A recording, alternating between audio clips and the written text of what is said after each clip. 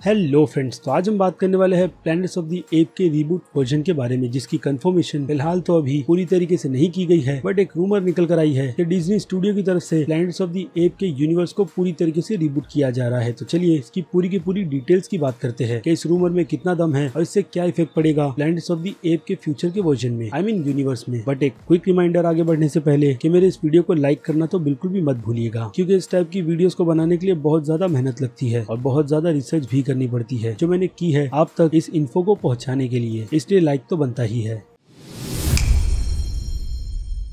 So friends अगर clearly देखा जाए तो प्लैनेट्स ऑफ़ दी एफ़ के यूनिवर्स को खुद फॉक्स के ही यूनिवर्स में दो बार रिबूट किया जा चुका है। और एंडी स्कारस का वर्जन इस यूनिवर्स का तीसरा रिबूट वर्जन था। और अब अगर देखा जाए तो डिज्नी की तरफ़ से इस यूनिवर्स को चौथी बार रिबूट किया जाएगा। तो अगर आपको पहले के वर्जन के रिबूट याद नहीं है तो मैं आपको यहाँ पर याद दिला देता हूँ, वो भी काफ़ी डिटेल्स में। वेल तो पहले प्लैनेट्स ऑफ़ दी एप के यूनिवर्स को शुरू किया गया था ईयर 1968 में, जिस यूनिवर्स में हमने चार्लेट हिटस्टन को देखा था। और ये दुनिया प्लैनेट ऑफ़ दी एप के इस यूनिवर्स में बहुत बहुत ज़्यादा फ्यूचर में सेट की गई थी, जहाँ पर इंसानों के पास ज़्यादा दिमाग नहीं और इंसान एप्स की इस दुनिया में बस उन सभी के सभी एप्स के स्लेव्स है। और देखते ही देखते इस फ़िल्म के यूनिवर्स में टोटल पाँच पार्ट बनाए गए थे और पाँचों ही पार्ट 68 से लेकर 73 तक चले थे, जिनमें से फ़िल्म का पहला पार्ट काफ़ी ज़्यादा ज़बरदस्त था, उसके बाद सेकंड पार्ट बेकार और थर्ड पार्ट अच्छा था फोर्थ पार्ट एवरेज और फिफ्थ पार्ट घटिया। बट फिर भी ये सीरीज़ एक नॉन सीरीज़ में गिनी जाती थी। और हाँ पुरानी वाली दो फ़िल्मों की टाइमलाइन में टाइम ट्रेवलिंग बहुत ज़्यादा इंपॉर्टेंट है, जो उस टाइम पर लोगों का दिमाग खराब करने में पूरी तरीके से कामयाब भी हुई थी, जिसके बाद इस वर्जन को शांत कर कर इस यूनिवर्स को रिबूट करने की ज़िम्मेदारी टिम ब्रूटन को दे दी गई, जिन्होंने साल 2001 में प्लैनेट्स ऑफ़ द एप फ़िल्म का रिबूट वर्जन बनाया, जिस फ़िल्म में हमें मार्क वेलबर्ग नज़र आए थे। इसके अलावा फ़िल्म में और भी काफ़ी अच्छे नॉन एक्टर्स थे, जिनके बारे में ज़बरदस्ती की बात कर मैं आपका टाइम वेस्ट क्यों करूँ? लेकिन हाँ बात करें, इसी दो हज़ार एक के वर्जन के बॉक्स ऑफ़िस कलेक्शन की तो कलेक्शन के मामले में भी फ़िल्म एक अच्छी हिट थी। और हाँ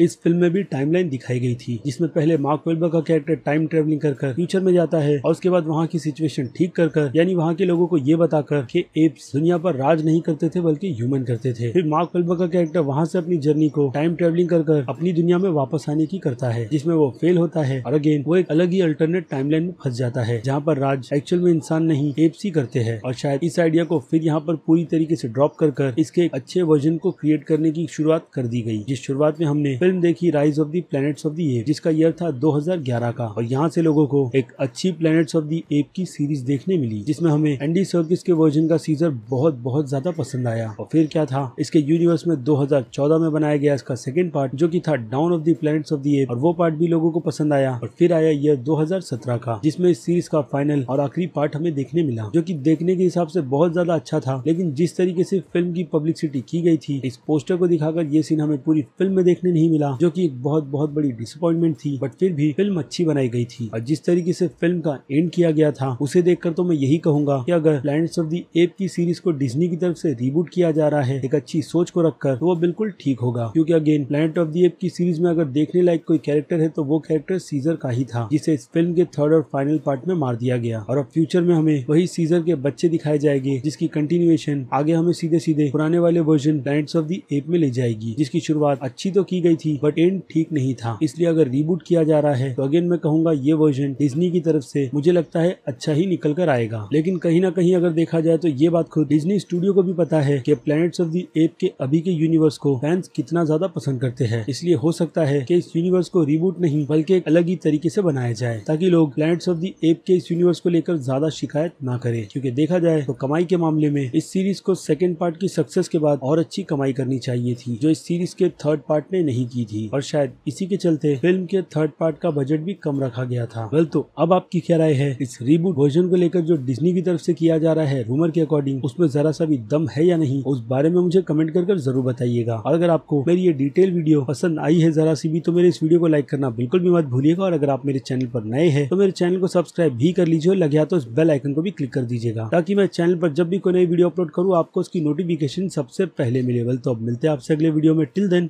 बाय